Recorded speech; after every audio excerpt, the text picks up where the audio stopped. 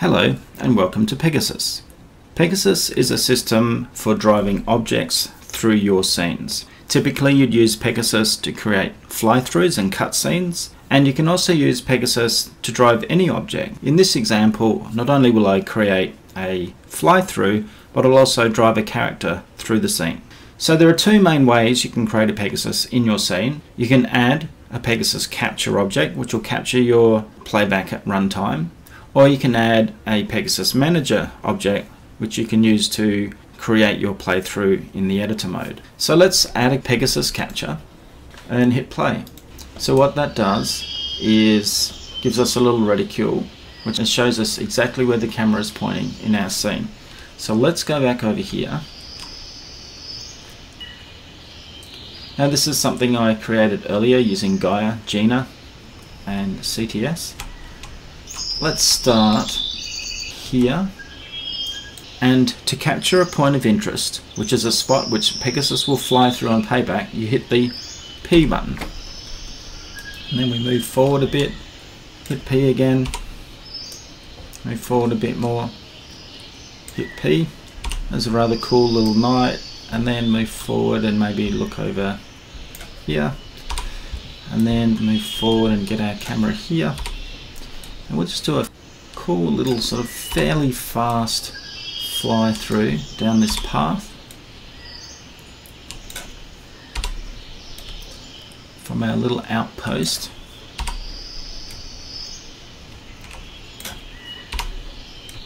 Through to our scene.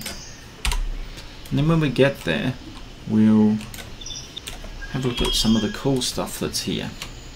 Hopefully what you're getting a sense of is that it's actually quite easy to use so let's go over here and have a look at this little well as we fly around. And then maybe let's go and look at that building and maybe look at this building and do a bit of a fly through towards this building. And as we sort of pan around, maybe we'll lift ourselves up a bit and keep that flight up going.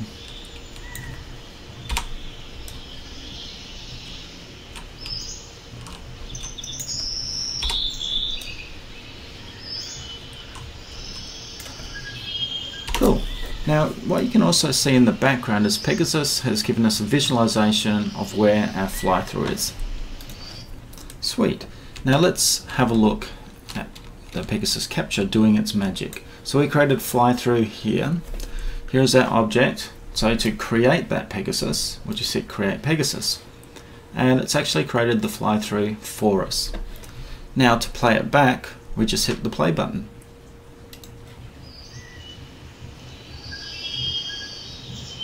Now the default playback speed is quite fast, but it gives you a sense of how quickly and how easy it is to create very high quality fly-throughs for your cutscenes or maybe for your videos.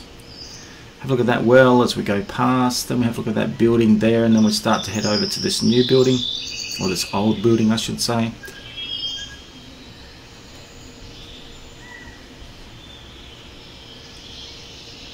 And there we've got it, quite a nice fly-through. Alright, so we're going to turn those off and now we're going to create one manually and this time we'll use it to take our character through our scene. So here's our little knight. This is a free PBR knight from the asset store and I'll create another Pegasus and this time we'll do it manually so we'll add our Pegasus manager and we'll just click on our terrain. Now what's actually happened here is Pegasus manager by default thinks that it's driving a camera through the scene but we're going to drive a character so I'll set my height above the terrain to zero meters. And then I'll just set my point of interest to that height. And I'll also make the gizmo a bit smaller. Just depending on what you're doing you'll do these things in different ways. Then I'll just go and add my different points of interest. Now you notice as I'm doing this that it's actually creating a looped fly through I'm going to make this a single shot. So it's just going to go on the path that I take it. It's not going to come back. And this time we're creating a path for our little soldier to go through our scene.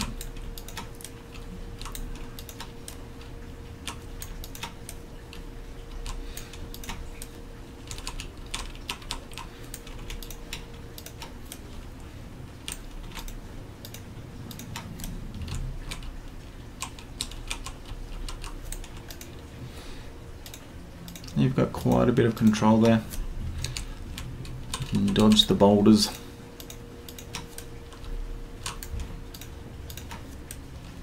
Now, if you've ever done this manually, it's quite a lot of work. So there we go, we've got our fly through for our soldier. Now by default, Pegasus is going to pick up the main camera, but we don't want the main camera, we want our little soldier here. So we click on our Pegasus and we drag him onto it. And it renames the Pegasus to show you what it's actually controlling. So we also need to add in our Mecanim controller for our little soldier. So we just grab our Pegasus animator and drag him on there. And then we've got to set it up. We just drag ourselves onto the character. We drag the animator onto the character. I've already set this animator up with the Pegasus animator controller. And we'll set our first animation to be walking. Now, by default, we give you some standard animations, so idle, walk and run. And you can override these with your own animations and you can also change the relative speeds at which idle, walking and running kicks in. So we'll go back to our Pegasus. So that's all we had to do for setup. And we can visualize where our little character would go. So we can go visualize and scrub through. We can do this with any Pegasus by the way. And by default, Pegasus will do its fly through at 25 meters per second, which if you're going through a fairly large amount of area, that's fairly fast. But our, our typical running speed is about 8 meters a second. So I'm going to use my little global set speed. And what that'll do, it'll set the speed of all of the different points of interest. So we've got our speed at 8 meters a second, but I want to start him walking before I start him running. So I'll set the speed of our first point of interest to say 2 meters a second, and then 2, and then 2. So what we should find is that he will walk and then he'll run. So let's just bring him back to the start here. There he is. And let's play this. So he starts walking and then he's running, making quite a quick clip through our scene here. And away he goes. So that's a very quick and easy way to add some interest into your scenes. Alright, so I'll do one more thing. We'll leave our knight to do his thing. I'm going to go back to my main camera, drive through, and turn that back on. And I'll actually I'll just start him off a little bit slower as well. So let's set its speed to say slow and then medium. Yeah that'll do. So it, we'll start a bit slower our camera and then we'll speed up. Let's just run that and then I'll show you the difference that banking makes to the fly through so we're running two Pegasus at the same time at the moment. Pegasus is quite happy to do that. So there's goes our guy. So we're following him along.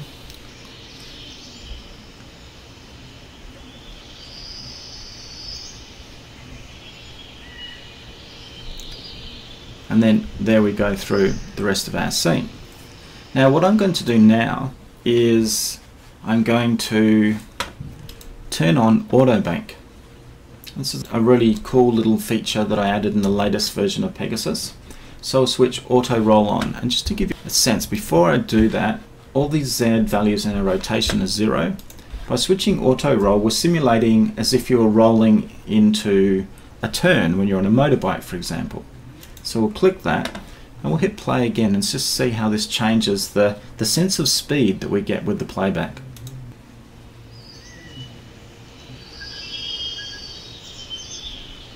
So as we start to go around the corners, the camera will start to give you a slight bit of roll and gives you a slight sense of speed.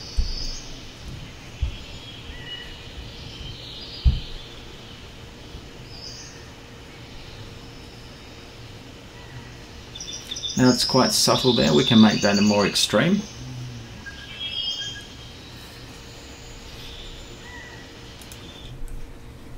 So let's do that. Average speed through here is about 8 meters a second. Let's go into our roll settings. So our maximum roll speed, let's kick that in at 8 meters a second. And at 8 meters a second, we're going to get a, a, roll angle of up to 15 degrees. Let's just make that a little bit more pronounced just to show the concept and then just run this again.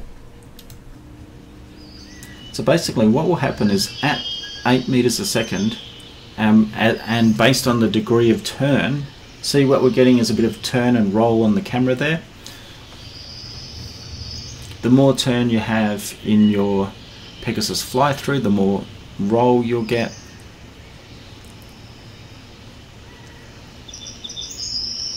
and if you're doing say a you know a motorbike or a spaceship or something. It looks quite cool.